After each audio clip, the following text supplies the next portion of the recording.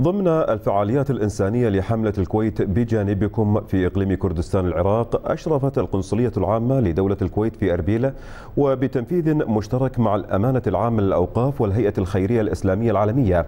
على توزيع المواد الغذائية شملت العوائل من ذوي الاحتياجات الخاصة والمكفوفين ضمن الخطط الإغاثية لشهر رمضان. وسبق لدولة الكويت وبتنفيذ من الأمانة العامة للأوقاف والهيئة الخيرية الإسلامية العالمية أن شرعت بتنفيذ الخطط الإغاثية كتقديم المواد الغذائية ضمن حملة الكويت بجانبكم لمختلف المناطق بإقليم, بإقليم كردستان العراق.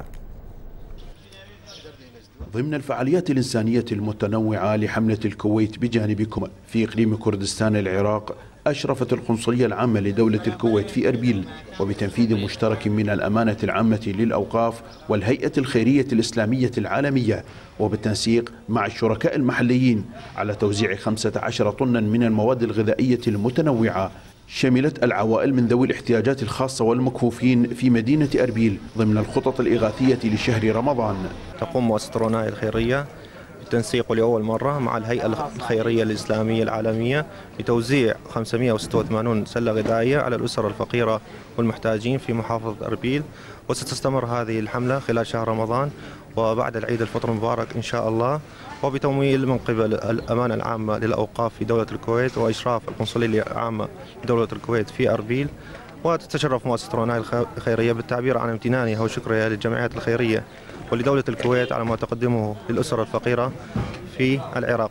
وكما استهلت دولة الكويت شهر رمضان هذا العام بمختلف الفعاليات الإنسانية اختتمته بجولة من المساعدات التي عادت بالفائدة على المشمولين بها. هذه المساعدات قد تكون عامل خير لهذه الشريحة نشكر الأمانة عمل أوقاف دولة الكويت الشقيقة ومؤسسة الروناكي الخيرية لتنفيذ هذا المشروع.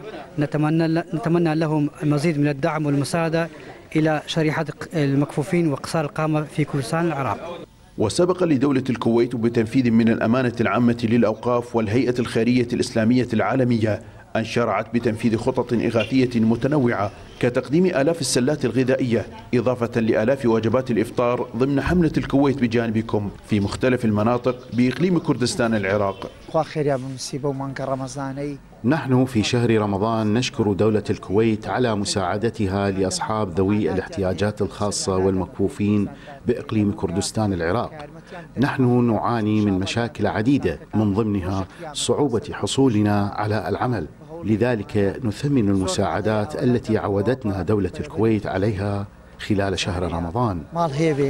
من جديد تعود دولة الكويت لتؤكد استحقاقها لقب مركز العمل الإنساني العالمي من خلال تواصل فعاليات حملة الكويت بجانبكم خلال شهر رمضان. من أربيل كردستان العراق عاصم الحمداني تلفزيون دولة الكويت.